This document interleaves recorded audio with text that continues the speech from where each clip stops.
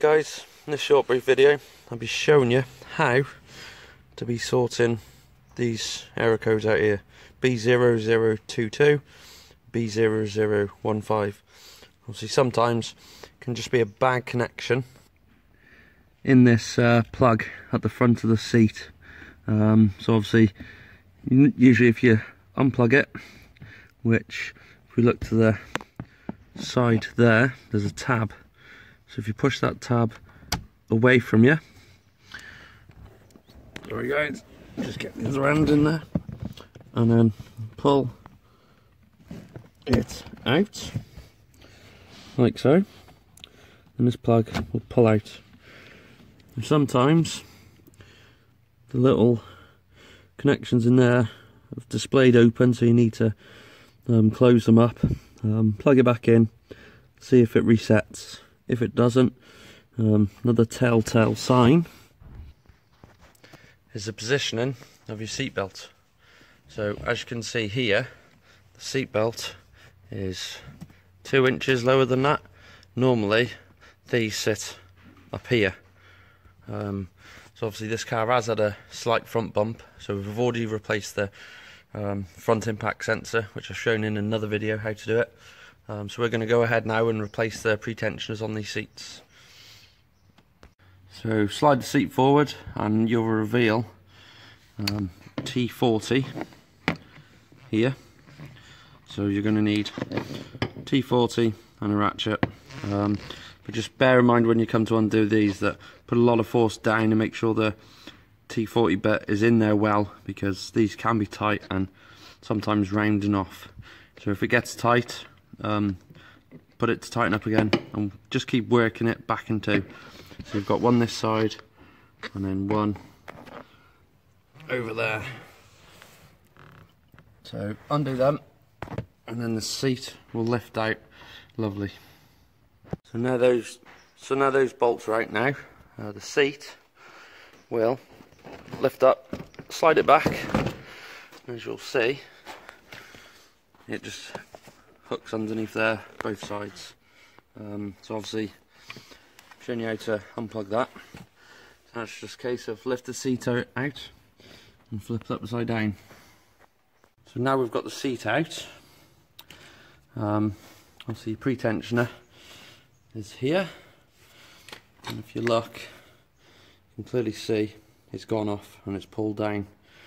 So our wiring is in with all this Obviously, lower spec cars, the only wire you're going to have is for the pretensioner. Um, you won't have no side airbags, um, so you'll just have a single wire which runs down here into this connection block here. So we're going to disconnect the cable ties. I'm going to show you how to remove the plug out of this box here.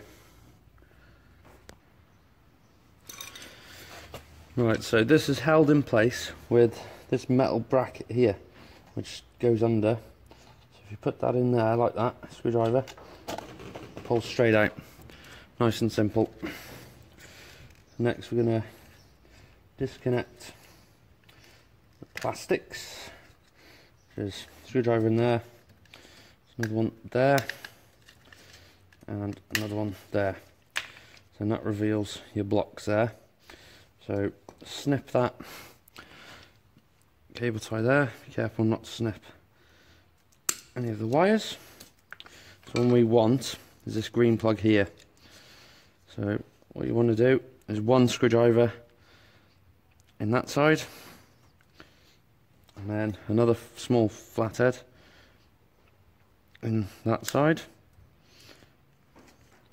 and then it should pop out then but it's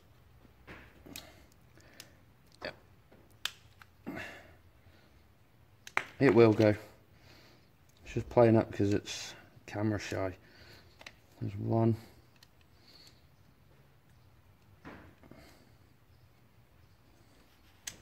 There we go. So as soon as you pop it, it will come straight out.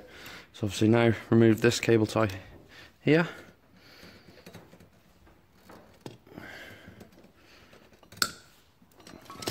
And then got another one here.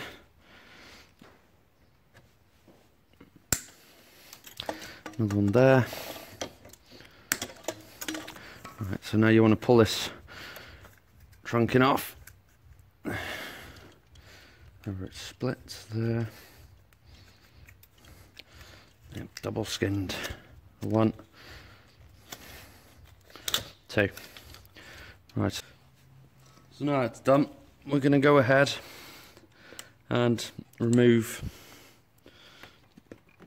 this T50 bolt out of here. Now it has got thread lock on it, so it will be tight.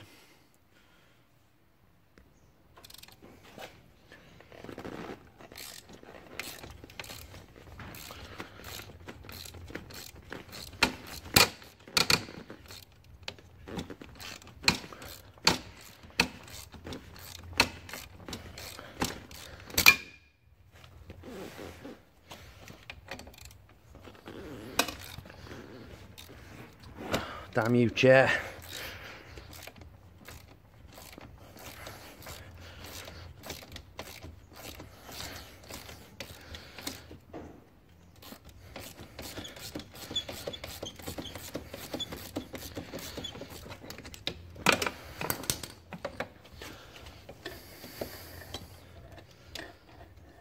Okay, there is one more cable tie just in here.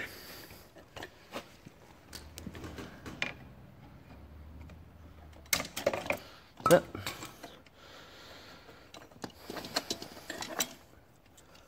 then withdraw it.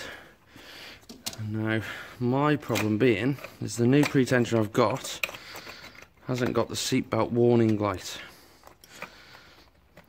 Um, I assume that's what it's for. Is this blue one. So we're going to go ahead and try it anyway because who needs a seatbelt warning light anyway? So there you have it, unpretensioned versus pretensioned one. Obviously you can see that this has never gone off compared to this one. So I'm hoping that's not going to cause an issue and we shall find out. So I'm going to fit this now in reverse order how I've just done and we'll see if the codes uh, disappear. Right, so that's a pretension now reinstalled. Um, cables run through, cable tied, trunking back on. Um, so now it's just the case. Put in this green plug back into there. Now it can't go the wrong way because them tabs are offset. So it only goes one way. So you just, and it goes. And then that, cover needs to go back on now. So I'll put that back on and then it just slides in, clips straight back in there. Right, so that's the seat back in. Bolts all nice and tight. Obviously remember to slide it um, and lift the seat up, slide it into the front first, and then drop the bottom. So, last but least, this plug. This is for you, scanning it, we need to get this plug back in. Sorry about the angle, guys. Doing this blind at the moment.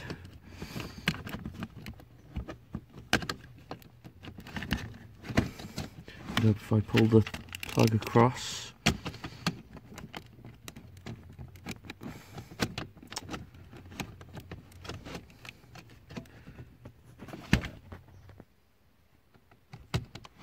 That's it. Tab across, goes in, and then pull that little red thing up. That's done. So, push the seat back. And you now notice how high the pretension is. So now we're going to see if our code's clear. Right, so quickly, just before I do go, um, I've just done the passenger seat. Um, so there's the codes there. So We'll just delete it. Fingers crossed, no more codes. There have it. No more codes present. That's all gone. It's another job off the car.